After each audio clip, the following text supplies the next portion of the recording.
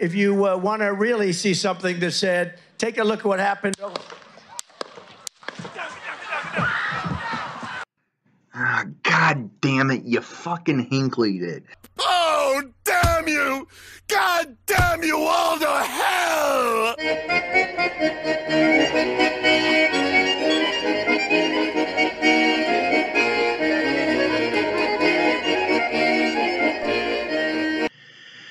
So, now that I've kind of had time to think about everything in regards to the Donald Trump assassination attempt,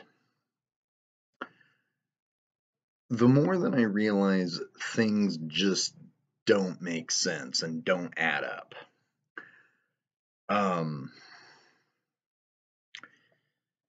number one, the fact that this person is a registered Republican and meets the criteria of everybody that's come before him. People, you know, incel, cis white men.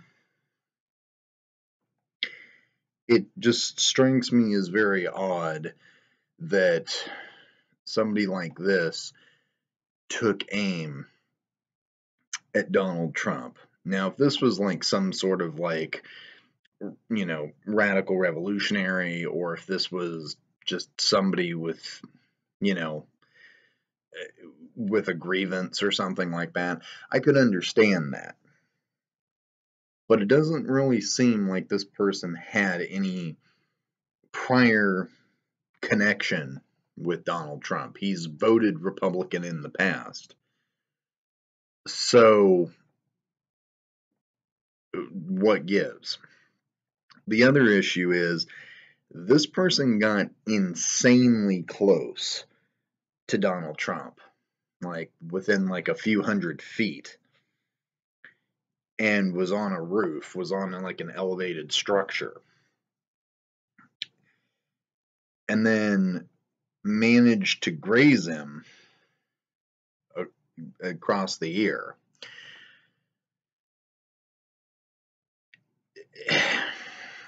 And also, it's just the fact that Secret Service took an insanely long time to jump in and save him. Like, Trump had already ducked before they had even gotten in there. And then had time while they're supposedly under fire to stand up and give the little fist bump, which just kind of screams eh, propaganda to me, especially considering the fact that, you know, this has been played over and over by Western media, and not just Fox News. This has been replayed over and over by CNN, by BBC, by so many different news outlets. And it just screams propaganda. It just screams for like I'm not saying that this is a false flag, but this does seem very suspicious. This almost seems like this was somehow coordinated to some way. Now, of course, I will entertain a lot of liberals who are out there saying, oh, well, it doesn't matter if it was staged, it doesn't matter if it was a false flag, they're going to play off of this. Yes, they are. That that was going to be the intention whether it was staged or not. They're going to capitalize on this and yes it's going to probably make things a lot worse. Security definitely is going to be tightened after this. But it just straight especially considering that this also comes after supposedly biden's poll numbers had taken a jump. This this just seems like a, a really easy way well maybe not easy way but this seems like really convoluted way to you know bolster his poll Trump's poll numbers to make him seem invincible he's already seen as a god to most of his people which and I could go into the whole Christians and idolatry hypocrisy, but that's that'll be for another video, I guess. Um but he's already seen as basically some god, like some invincible entity. And all this is going to do is essentially deify him. This is I I I don't I know this might be a shitty comparison, maybe not. But this really almost invokes almost a sense of like Caesarean sort of idolatry, like Caesarian cult of personality. Because essentially, him giving that fist bump, that propaganda tool, that really is going going forward and probably if he continues uh, if Biden continues running he's going to win regardless but that iconic fist bump with the blood streaming down his face is almost going to be tantamount to a lot of these magoids as the general as the great general Julius Caesar coming home from battle. So I will entertain the fact that yes, it's going to get worse and that yes, Trump probably has just won the election. But with Biden running, that was already a guarantee. But by this act, this the, the, the what this shooter did. At this point, you might as well hand the man a fucking, uh, you know, fucking crown and declare him emperor. Because at this point, that's what you've pretty well done. You have enshrined that this dictator will rule for the rest of his life, which, given his age and his uh, physical shape, uh, probably will only be a couple of years anyway. But if anything, it's going to enshrine, if not at least at the bare minimum, bolster the reactionary momentum that he has around him and the reactionary just violent cult of personality that he has around him that this will con- this only motivates them further now if he had been it now it really doesn't matter even if he had even if the shooter hadn't Hinkleyed it and had actually, you know, JFK'd him, then in this situation, it wouldn't really have made much of a difference. It would have just it would have just set off a wave of violence. And at this point, you know, all that's going to happen is that these people are going to double down, they're going to tighten down, and they're going to get even more draconian. They're going to get even more tactical. So no matter how and no matter how you slice it, they're going to try to blame the left. Even though quite literally this person is a registered Republican and gave what $15 to the Biden campaign cuz you know that that that $15 really you know that that really drives the point home, doesn't it? No, I don't buy it. This person that committed this crime was a cis white male, was a registered Republican, and at 20 years old fits the criteria of somebody who would essentially fall into the realm of the, the far right, who would fall into that whole Proud Boys, that whole, you know, you know reactionary gobbledygook that a lot of young cis white men fall into.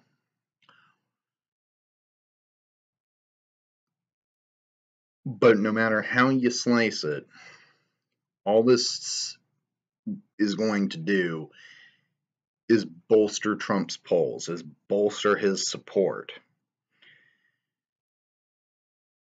And here's another thing to think about. Regardless of what the situation is, it's still going to be Biden versus Trump. It's still going to end up with a Trump victory. Because Democrats refuse to have a spine and stand up and remove Biden from the election and run somebody like Kamala Harris, which at this point is literally the only way there stand even the slightest chance of defeating Donald Trump. And many people have been coming out in support of that. George Clooney, who's one of the biggest financial donors to the Democrats, has stated that Donald Trump needs to step down. And what did Biden do? He basically just brushed it off. He he just base uh, or you know, what did Joe Biden do? He just brushed it off. He just basically told George Clooney, F off, I don't need you. Because that's the problem with Biden and Biden supporters is that they are so delusional. They are so fixated on running him personally that they forget that they're trying to run to win. Like it almost like it's been seeming for quite some time now, like they've been intentionally trying to bomb the election. But now it goes beyond just doing that. At this point, they seem to almost be doing this just purely out of ego. And that's really what it is. It comes down to ego. You've got two egotistical people, two egotistical egotistical geriatrics running for president. And and the only winners in this is going to be the bourgeoisie. The people certainly are not going to win on either side. And that's not to say that their people are, are going to have any sort of victory if Kamala Harris were to actually run, because they won't. But the point is, these people are so delusional, so willing to run this man, even despite the fact that he looks like a befuddled old man. He's looking so senile and so weak and incompetent. And they're just essentially handing it to Trump. And this is the problem with a lot of liberals. And this is something that we've been saying on the left for quite some time is that liberals are are inadvertently willing to side with fascists as long as it means they get to keep the comforts that they have under capitalism. You know, yeah, some of them come from backgrounds that, you know, might be lumpen or might even be labor aristocrat. But these people, they don't they don't care. They don't want to do revolution because they enjoy their comforts that they have benefited under capitalism. They don't want to do revolution because it's scary and people die. And it's that type of thinking right there as to why America is where it is now and why America is not going to get out of it. It's why the first world is like this and won't get out of it. But it also comes down to the contradictions of the bourgeois democracy. You have a chance to at least preserve the more socially fascist elements of capitalism, of the capitalist democracy. But you absolutely refuse. You are so delusional that you are willing to let this man continue running even though he will almost certainly lose. But yet there's a 20 year younger candidate that that could step up into that role but you don't have the testes to do that. You don't have the testes to basically say, okay, we're going to say no, we're going to vote to have Kamala Harris or Gavin Newsom or whoever the fuck they wanted to put in there run for the Democrat, the Democratic Party. But you refuse to do that because, like liberals have always been, they're spineless, they're cowards, and they, ben- they benefit from the same elements of capitalism that conservatives do. And they're unwilling to waver. People like Marla Alpert, people like Under the Desk News, people like Brianna Wu, people like Stacey K, people who are willing to just just let it be. None of you have even the slightest bit of courage to just admit, okay, we were wrong. Maybe we should run somebody else. Or yes, you're right. Maybe we do need to take more drastic action. Because at this point, the fascists have been taking drastic action. They've been taking drastic action for years now. January 6th, 2021, they were taking real drastic action there. That was the closest they got to possibly overthrowing the government and establishing a reactionary dictatorship. Meanwhile, what has the left done? Bicker and argue? So, this is really is something to really think about. Because the way that things keep marching forward we're either going to have to fight our way out or we're going to have to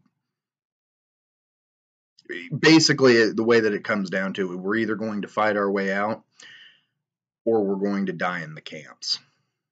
Plain and simple. Voting does nothing this election is a sham. This democracy is a sham. And after this after this little theatric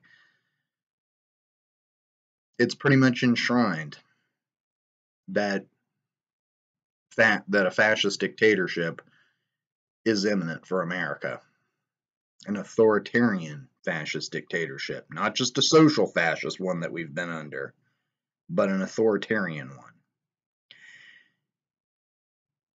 And as capitalism continues to decay further, the more of a reality that's going to be. So, as much of a broken record as I sound, you can either die a martyr for the cause, or you can die a coward in chains. I'm Red Pagan Nicole, and this has been Red Pagan Corner. Until next time. Thank you for watching. If you like news and politics from a leftist perspective, true crime, or informational videos on leftist philosophy and pagan belief practices, and would like to support the channel, please head over to my Patreon page and set up a monthly donation. Even a few bucks really helps me out. All links are provided in the description like, comment, and subscribe, and share on various social media. Hit the notification bell so that you never miss a video. I put out content regularly, so you will always get quite a bang for your buck.